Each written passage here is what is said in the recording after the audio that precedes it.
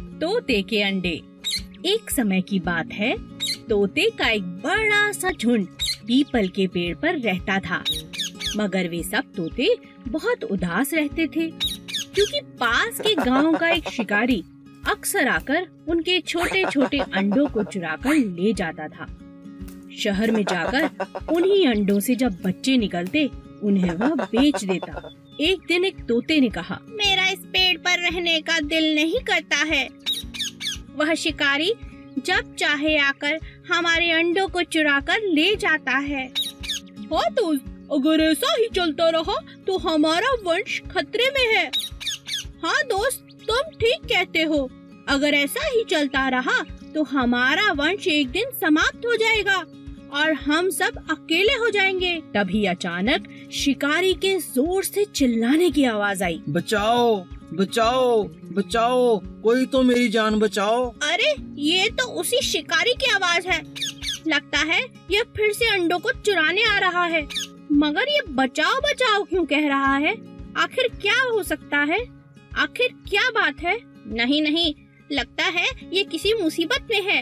हमें इसकी मदद करनी चाहिए। मैं इस शिकारी की कोई मदद नहीं करूँगा। हमारे दुखों का कारण यही तो है मिठू तोता जो दिल का बहुत अच्छा था।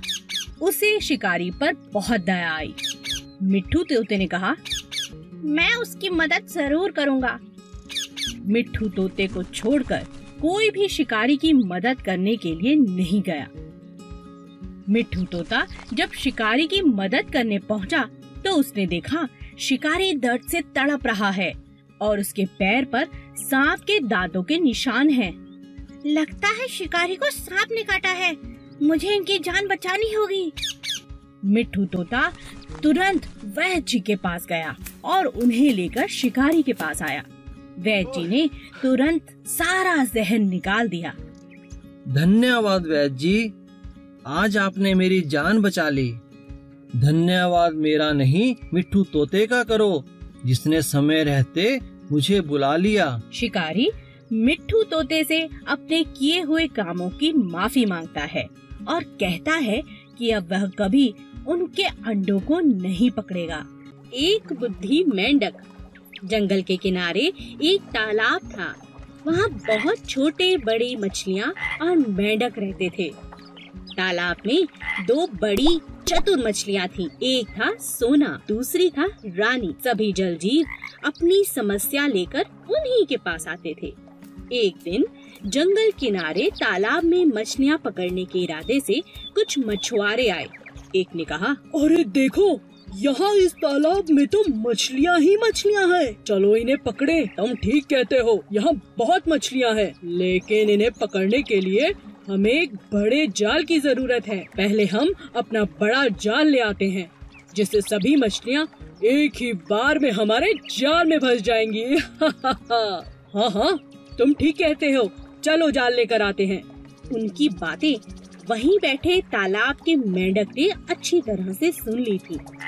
वह नहीं चाहता था कि सभी मछलियों को ये मछुआरे मार दें। इसीलिए वह ये खबर लेकर सोना और रानी मछली को बताने के लिए गया। मछली मछली, सुनो, मैं अभी देख कर आ रहा हूँ। मछुआरे मछुआरे आकर तुम्हें अभी पकड़ लेंगे। कुछ ही देर में वो आते ही होंगे।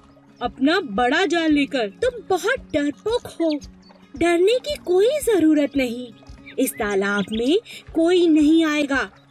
तुम हमें और बाकी मासूम मछलियों को डरा नहीं सकते। समझे मेंढक मेरे होते हुए तालाब की किसी मछली को कुछ नहीं होगा रानी मछली ने कहा। मुझे लगता है तुमने कुछ गलत सुना होगा। हम तो हमेशा सतर्क रहते हैं। हमारे रहते किसी मछली को कोई नुकसान नहीं हो सकता।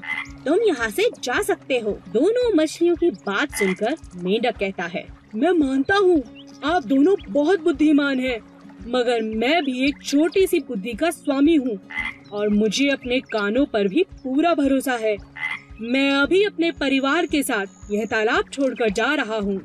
मेंढक अपने परिवार को लेकर तालाब से बाहर निकल जाता है। मेंढक तालाब से बाहर निकल ही रहा था कि वहाँ अचानक मछुआरे वापस आ पहुँचे और उन्होंने अपना बड़ा सा जाल तालाब में डाल दिया। सभी मछलियों को सोना और रानी मछली के घमंड के कारण अपनी जान देनी पड़ी और समझदारी के कारण मेंढक और उसका परिवार सुरक्षित हो गए प्लीज़ subscribe.